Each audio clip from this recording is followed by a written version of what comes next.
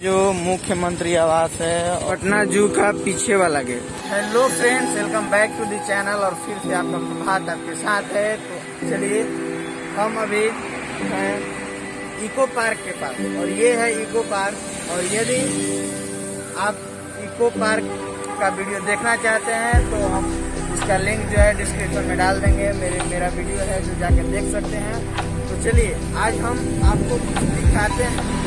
तो चलिए, हम फिर से निकल चुके हैं पटना के सड़कों पे। और चलिए हम आपको कुछ ऐसा ऐसा चीज़ दिखाएँ जो आप अभी तक न देखे हो और यदि देखे भी हो फिर भी देखे उस चीज़ को। और चलिए तो बगल में ही है जब हम इस रास्ते से क्रॉस कर रहे थे तो बगल में ही है एक मुख्यमंत्री आवास। यही है जो मुख्यमंत्री आवास है। मंत्री आवास। और इसके जस्ट बगल में ही चिड़ियाघर का पिछला गेट है और चलिए हम उसको भी दिखा, दिखाते हैं और यदि सामने वाला गेट में जाम रहता है तो आप पीछे वाला गेट से एंट्री कर सकते हैं। पटना जू का पीछे वाला गेट। इसको ये है गेट नंबर टू। ये तो ये पूरा का पूरा बंद है। कुछ भी नहीं खुला है। तो चलिए हम आगे चलते हैं और कुछ होना क्या? ये राजभवन है। है, यही है राजभवन। और राजभवन के ठीक जो सामने है, वो सचिवालय तो ये सचिवालय है। इसके जस्ट अपोजिट साइड जैसा कि आप लोगों ने देखा कि इसमें मुख्यमंत्री का आवास भी दिखाया गया कि जहाँ पे मुख्यमंत्री आते हैं और वहाँ पे रहते हैं। और यदि आपको किसी भी प्रकार की दिक्कत होती है, किसी भी प्रकार की, या तो किसी सरकार की तरफ़ से मतलब किसी भी प्रकार की यदि दिक्कत होती है और यदि आपको उस मैटर को सॉल्व करना है तो आप यहाँ पे आके कंप्लेन कर सकते हैं। क्योंकि यहाँ पे भी कंप्लेन का, प्रॉब्लम का सॉल्यूशन दिया जाता है और उसका दिया जाता है। तो जैसा कि आप लोगों ने देखा कि यहाँ पे जैसे कि पीछे में देखा कि ये है राजभवन और इसके जस्ट अपोजिट साइड में इधर जो है सचिवालय है और ये जो रोड है, बहुत ही ज़्यादा सुनसान रहता है।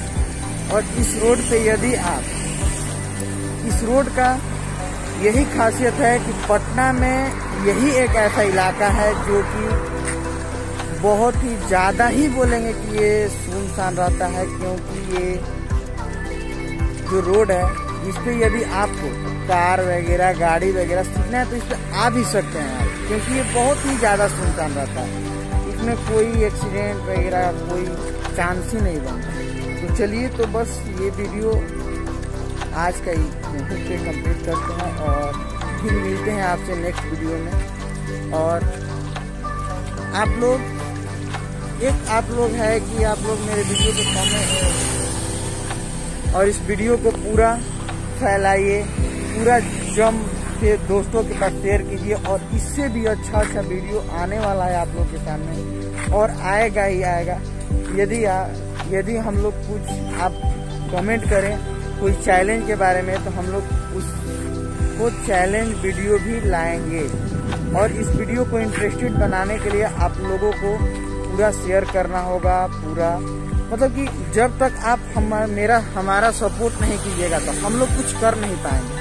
तो इससे कि आप लोग इस वीडियो को पूरा शेयर कीजिए और फिर जब तक आप लोग शेयर नहीं कीजिएगा लाइक नहीं कीजिएगा कमेंट नहीं कीजिएगा तो हम लोग को उतना मज़ा नहीं आएगा वीडियो बनाने में। तो आपसे बस यही हम बोलेंगे कि आप इस वीडियो को और मेरे हर एक वीडियो को इतना शेयर कीजिए, इतना शेयर कीजिए कि अच्छा लगे हमको भी कि हाँ मेरा वीडियो कुछ लोग जो है देखता है और तो चलिए हम आज के वीडियो यहीं पे करते हैं और फिर मिलते हैं आपसे नेक्स्ट ब्लॉग में।